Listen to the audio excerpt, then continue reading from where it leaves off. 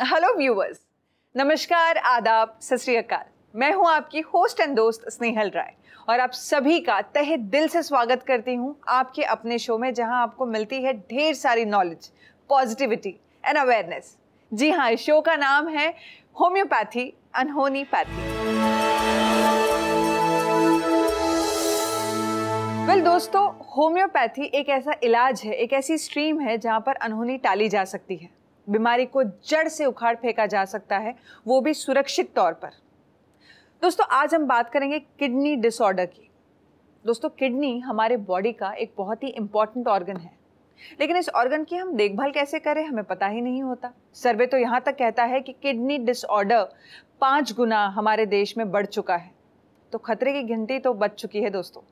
Well well, जानते हैं इसी किडनी डिसऑर्डर के बारे में डिटेल में एक्सपर्ट से। Well he is none other than classical professor doctor Anwar amir Ansari ji.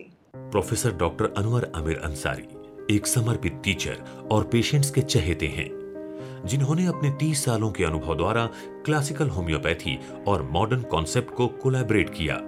और अपनी रेवोल्यूशनरी रिसर्च से इजाद किया ट्रीटमेंट का बायोसाइको सोशल मॉडल जिसकी हेल्प से आज इनऑपरेबल और लास्ट स्टेज कैंसर सहित कई जटिल बीमारियों से जूझ रहे लोगों को नया जीवन मिला है। अपनी अद्भुत रिसर्च के लिए इंटरनेशनल कॉन्फ्रेंसेस में सम्मानित डॉक्टर अंसारी को अब तक अनेक अवार्ड से नवाजा गया है। डॉक्टर अंसारी का एक ही मिशन है, खतरनाक बीमारियों के आतंक को चुनौती देना। और लोगों को एक सफल इलाज उपलब्ध कराकर उन्हें स्वस्थ खुशहाल जीवन देना। वेल दोस्तों आज डॉक्टर अनवर अमीर अंसारी जी हमारे बीच यहाँ मौजूद है। तो चलिए जानते हैं किडनी डिसऑर्डर के बारे में खुद उन्हीं से। नमस्कार डॉक्टर अनवर साहब। हेलो कैसे हैं आप? बहुत बढ़िया। Well thank you so much for coming here आपने इतना अपना कीमती समय हमें दिया उसके लिए शुक्रगुजार हूँ। Thank you for inviting well दोस्तों आज हम बात करेंगे किडनी डिसऑर्डर के बारे में। किसी भी प्रकार का डिसऑर्डर क्यों ना हो, अगर किडनी डिसऑर्डर के अलावा तो उसके भी बारे में आप डॉक्टर अनवर साहब से जानकारी ले सकते हैं। इसके लिए बस आपको फ़ोन उठाना होगा और नंबर डायल करना होगा। नंबर की सारी डिटेल्स आपकी स्क्रीन पर लगातार फ्लैश हो रही है। तुरंत कॉल कीजिए। वेल इसी के साथ डॉक्टर साहब, मैं आपसे पूछना चाहूँगी कि किडनी हमारे शरीर में एक बहुत ही महत्वपूर्ण ऑर्गन है। बट एग्जैक्टली exactly इसका इम्पोर्टेंस क्या है?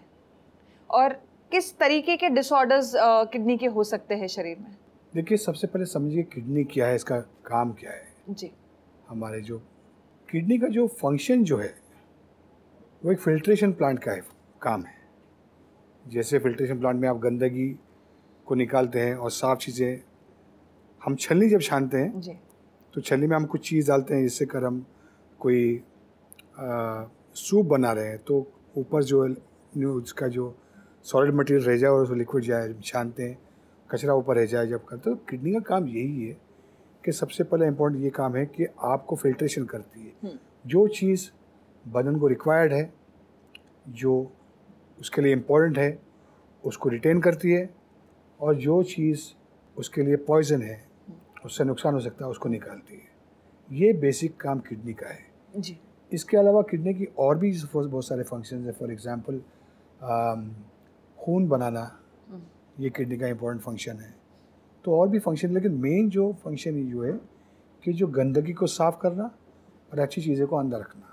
अच्छा और डिसऑर्डर्स के बारे में अगर आप हमें बता सकें कि किस किस तरीके के डिसऑर्डर्स डिसऑर्डर्स किडनी के ताल्लुक से बहुत हो सकते हैं। मल्टीपल इन्फ्लेमेटरी हो सकते हैं न्यूप्लास्टिक हो सकते हैं और स्टोन्स के हो सकते हैं मेटाबॉलिक जिसे हम कहते हैं। बहुत सारे डिसऑर्डर्स है। लेकिन हम जो आपने जो स्टार्ट किया जो उसके बारे में जो बताया मेन मेन बीमारी का हम किडनी की जब बीमारी बात करते हैं कि भाई किडनी बीमारी होगी उसको तो वो हम कहते हैं किडनी फेलियर के बारे में।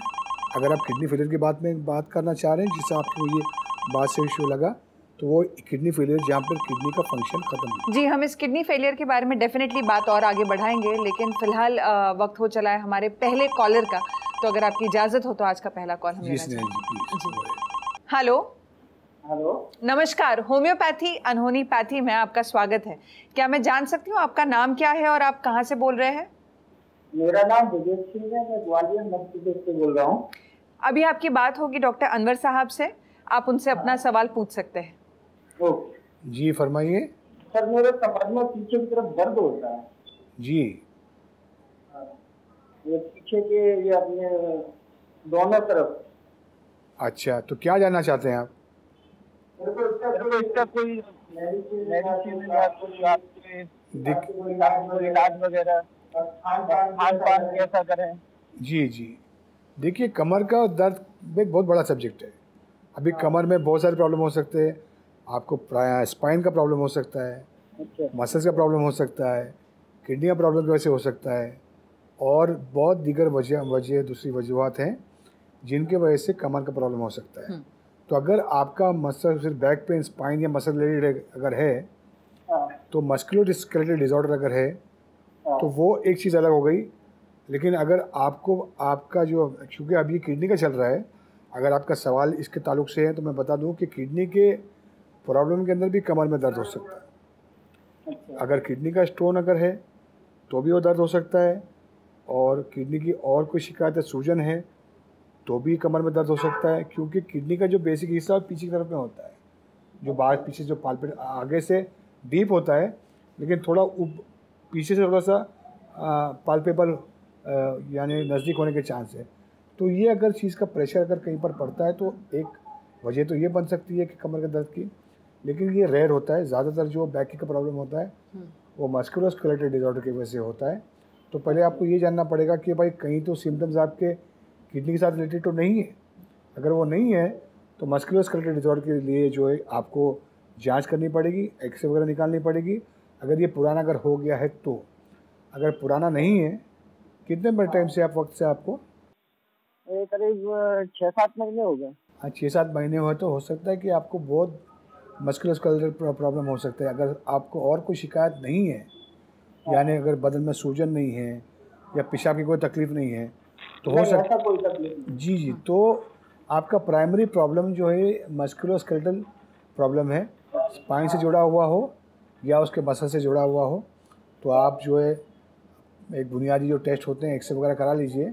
उससे आपको अंदाज़ा होगा कि भाई कहीं स्ट्रक्चर में कोई प्रॉब्लम तो नहीं है। और फिर बेसिक एक्सरसाइज आप कीजिए। स्ट्रेस का फैक्टर क्या है वो आप देखिए समझाइए। हमारे क्लिनिक पर बात कीजिए हमारे सेंटर के ऊपर। उनको बताइए क्या क्या कैफियत हो रही है किस किस्म से। तो आपको कुछ सवाल करेंगे। और डिस्क्राइब करने के बाद में आपके जो सूटेबल जो रास्ता बताने का वो हम लोग बताएँगे आपको। और आपका जो अगर सिंपल अगर मामला है किडनी से रिलेटेड नहीं है तो आपको आसानी से हल हो सकता है वो। हो सकता है कि कुछ बेसिक दवाइयों से मतलब कि आपका मामला हल हो सकता है। और कुछ पूछना चाहते हैं आप? बस सर ये है इससे कोई खान पान की वजह से तो नहीं? नहीं खान पान जो आपको जो बताया जाएगा वो आपकी बीमारी क्या होती है? मैंने आपको कहा कि बैक एक तो एक जनरल चीज़ है पहले क्या वजह है वो उसे मालूम करना पड़ेगा।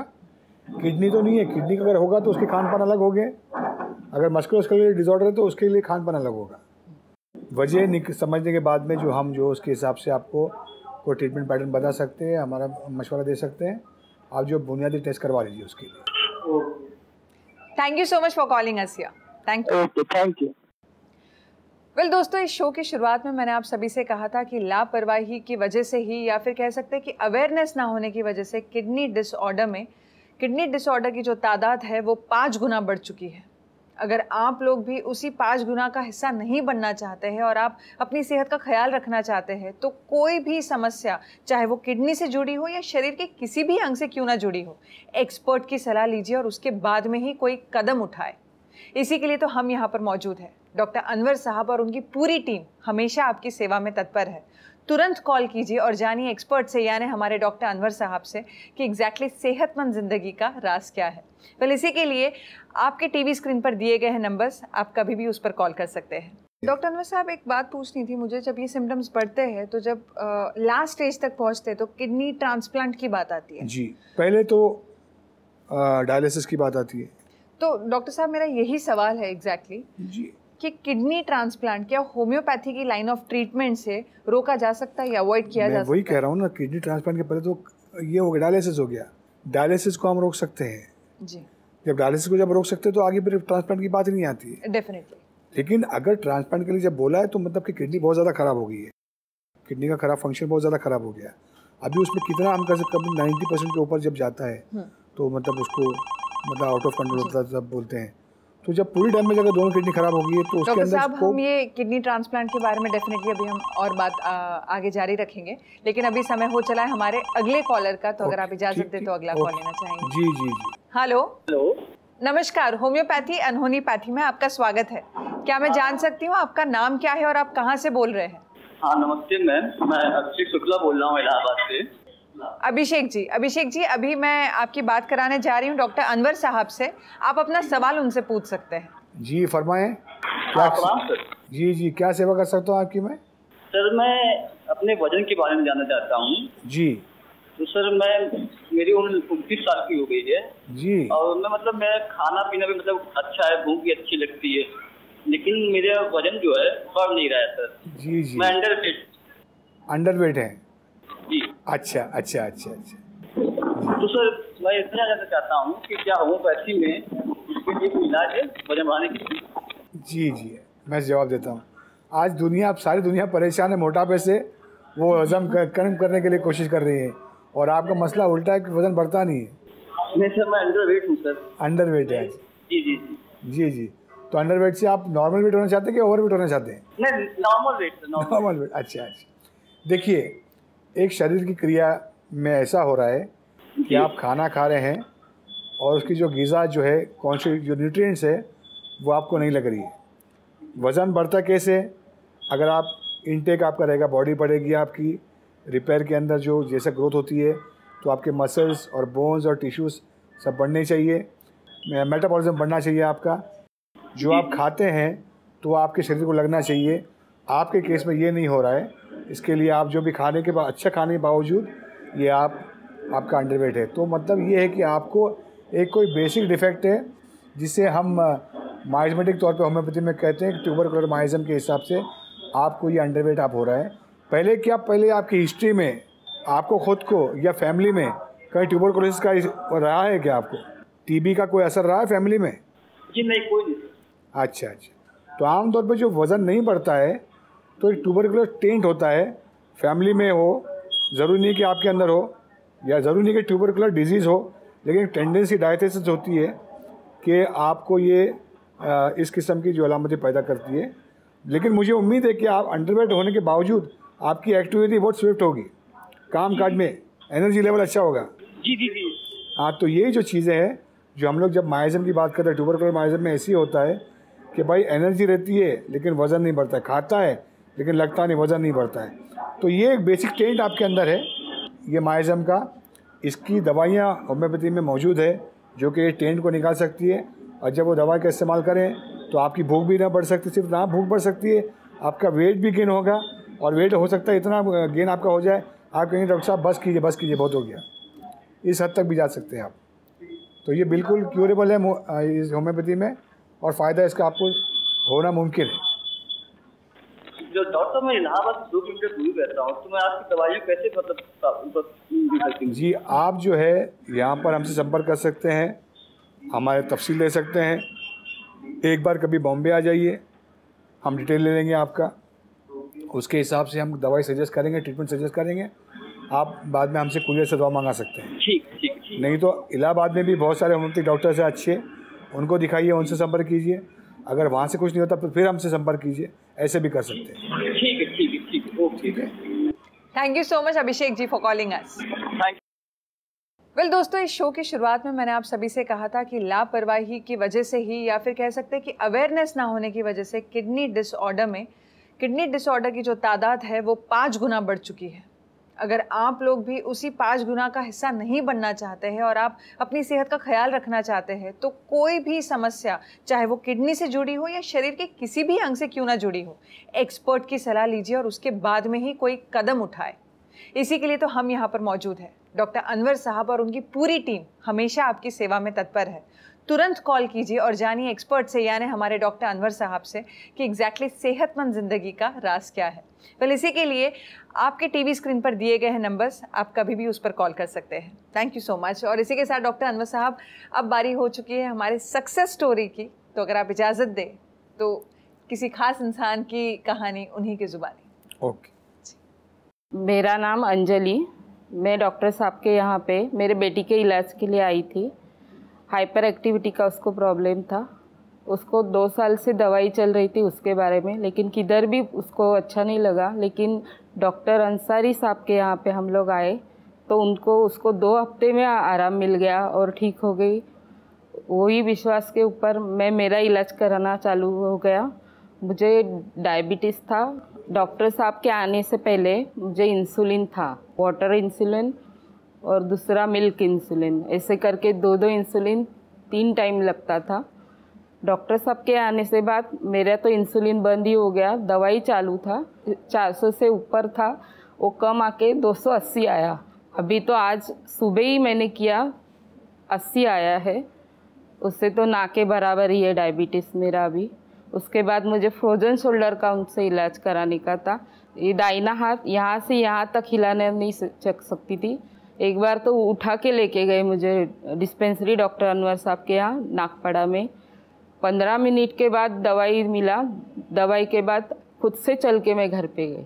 उसके बाद बहुत आराम है। इस, इसके लिए मैं डॉक्टर साहब का बहुत आभारी हूँ। वेल डॉक्टर साहब किडनी डिसऑर्डर ये तो अभी मैं काफ़ी हद तक आपसे जान चुकी हूँ और हमारे दर्शक भी काफ़ी कुछ जान चुके हैं। लेकिन मुझे एक और बात खाई जा रही है मन ही मन में कि अगर कोई लास्ट स्टेज पे है या डायलिसिस तक के भी पहुँच चुका है तो होम्योपैथी से कितने जल्दी उसका इलाज मुमकिन है या कितना समय अमूमन तौर पर लग सकता है? जी देखिए दो चीज़ मैं साफ़ कर देना चाहता हूँ आपको। बीमारियाँ दो किस्म की होती है। एक तो होती है एक्यूट बीमारी जो कि आती है परवान चढ़ती है सिम्टम्स देती है चली जाती है। करेक्ट दवा से वो ऐसी जो बीमारियाँ एक्यूट बीमारियाँ हैं वो जो फास्ट रिलीफ दवाइयों से हो सकती है और जल्दी से ठीक हो जाती है। दूसरी जो किस्म की बीमारियाँ होती है वो क्रॉनिक बीमारियाँ होती हैं पुरानी बीमारियाँ होती है जिसको परवान चढ़ने में सालों साल लगे हुए होते हैं। हम्म। अभी जब सालों साल लगते हैं तो उसके इलाज में भी उतना वक्त दरकार होता है जैसे किडनी बीमारी कोई इलाज ही नहीं है। सिर्फ़ हम इंतज़ार करते हैं कि भाई और किडनी ख़राब हो हम डायलिसिस पे डालें। तो ऐसे माहौल में अगर कुछ महीनों और कुछ सालों के इलाज के बाद में अगर आपकी किडनी की फंक्शनिंग बढ़ती है, आप डायलिसिस से हट जाते हैं, आप आगे आपका बीमारी बढ़कर ट्रांसप्लांट तक नहीं जाता है तो ये बहुत बड़ी कामयाबी है। अगर उसमें अगर वक्त भी लगता है तो क्या प्रॉब्लम है? क्योंकि वो उसको बढ़ने में आप इस किस्म की बीमारियों के जो आप पंद्रह साल हो गया, बीमारी शुरू हुई है, आपको बीस साल हो गया आप मेरे पास में आके बोले मुझे दो महीने ठीक कर दो तो पॉसिबल नहीं है। जी। इम्पॉसिबल है। तो आपको आपकी बीमारी की हकीकत को समझना होगा कि मेरी बीमारी क्या है कब से है कितनी हद तक के इसके रिपरकशन क्या है। हम्म। तो उसके हिसाब से हम टारगेट सेट करते हैं कि हमको ये केस में क्या करना है। होम्योपैथी में वो सक्षमता है और होम्योपैथी का दामन आप लोगों को थामना चाहिए। किडनी की बीमारी खास तौर पर जहाँ पर कोई ऑल्टरनेटिव नहीं है हम लोगों के पास में उसका मौजूद है ऑल्टरनेटिव आप इसे ज़रूर ट्राई कीजिए। Thank you so much doctor Anwar साहब। हमारे तमाम दर्शकों की ओर से एक चीज़ मैं आपसे कहना चाहूँगी कि हम वाकई में बहुत खुशकिस्मत है कि आपने हमें इतनी जानकारी दी और अपना कीमती समय हमसे शेयर किया। तह दिल से शुक्रिया अदा करना चाहती हूँ। थैंक यू वेल दोस्तों, जैसे कि डॉक्टर अनवर साहब ने कहा कि उम्मीद अभी बाकी है, ज़िंदगी अभी बाकी है। अगर कोई भी सवाल सेहत से जुड़ा आपके जहन में आ रहा हो और आपका मन है कि आप सलाह मशवरा करें खुद डॉक्टर अनवर साहब के साथ या उनकी टीम के साथ में तो इसी के लिए हमसे संपर्क ज़रूर करें। हमारा पता है। हमारा पता है doctor Anwar Aamir curative homeopathy 29 by 30 Patel orchid first floor KD tower 233 by 234 Bellasis road Mumbai central 400 zero zero eight हमारे फ़ोन नंबर्स हैं zero double two two three double zero four seven five seven zero double two two three double zero five seven five seven और double nine three zero nine five zero seven five zero हमारी email ID है D R Anwar Aamir at gmail dot com हमारी website है W W W dot D R Anwar Aamir dot com so well with this ladies and gentleman मैं हूँ आपकी host and दोस्त स्नेहल राय। चाहूँगी आप सभी से इजाज़त। दोबारा आप सभी से मुलाकात होगी यही इसी शो में जिसका नाम है होम्योपैथी अनहोनी पैथी एक नए विषय के साथ, एक नए जज्बे के साथ में। तब तक के लिए अपना प्लीज़ ख्याल रखिए, क्योंकि सेहत है तो सब कुछ है।